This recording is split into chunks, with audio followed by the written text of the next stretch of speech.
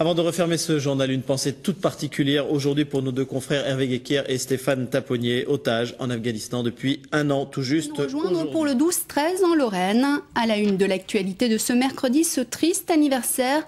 Un an, cela fait un an jour pour jour que nos deux confrères de France 3, Stéphane Taponnier et Hervé Guéquier, ainsi que leurs trois accompagnateurs, sont otages en, en Afghanistan.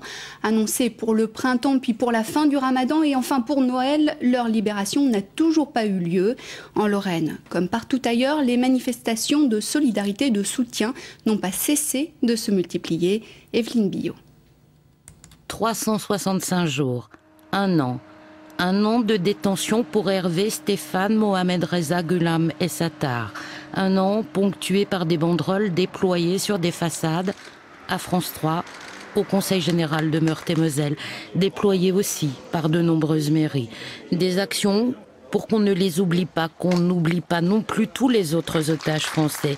Des actions pour marquer les jours, les semaines, les mois qui s'égrènent depuis le renlèvement par les talibans en Afghanistan.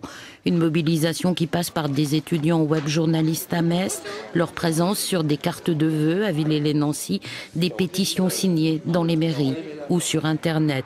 Les premières seront remises à Florence Aubenas à l'occasion du livre sur la place. Une mobilisation qui va se poursuivre jusqu'à leur libération, avec par exemple dès demain une descente au flambeau à Gérard. Deux confrères Stéphane Et leurs trois accompagnateurs sont otages en Afghanistan. De nombreuses manifestations de soutien sont organisées aujourd'hui pour ne pas les oublier. Nous ne les